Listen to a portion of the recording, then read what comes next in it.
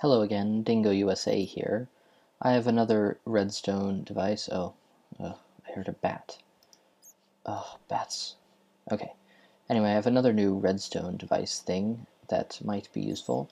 Since the new snapshot came out, um, it has been discovered that um, when you put armor in a dispenser and it dispenses and you're standing one block next to it, it will dispense onto your body and I use this to create an automated closet. So what you could do use this for is like you come in from a long day of mining, you just put your clothes and your tools into the item hopper that puts them into the closet. You take a nap, you go to sleep, and in the morning you wake up, walk into the closet, and you get your items and you walk out and you have your armor and all your tools ready to go and conquer a new mine. Oh, there are those bats.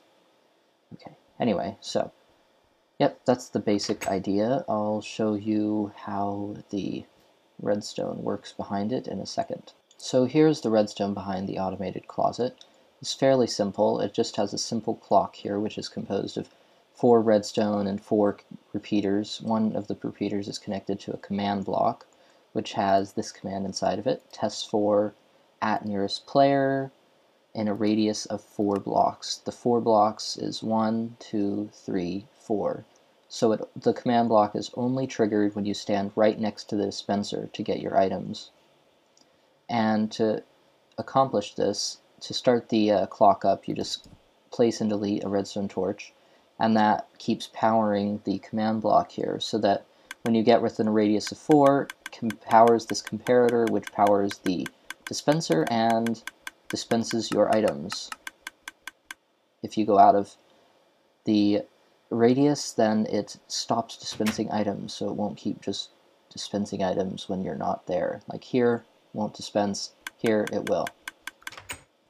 And I added this hopper system up at the top so that you can simply put your items into the hopper and they will be put into the dispenser for you so that when you so that it's easier instead of just putting them back in the dispenser you can just put them in the hopper here and they'll be transported back into the dispenser and they're okay.